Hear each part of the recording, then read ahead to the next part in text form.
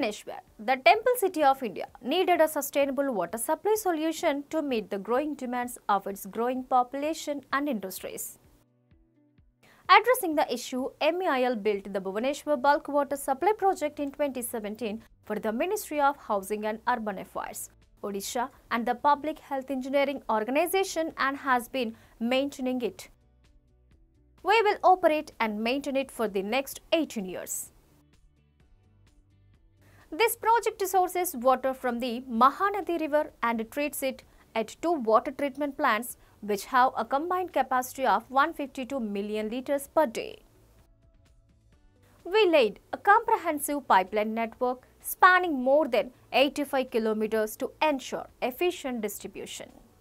The system includes a master balancing reservoirs at Mandasala and multiple ground level service reservoirs to optimize water supply to various locations including the Seafood Park, InfoCity, industrial parks and leading educational institutions like IIT Bhubaneswar and the National Institute of Science and Education and Research.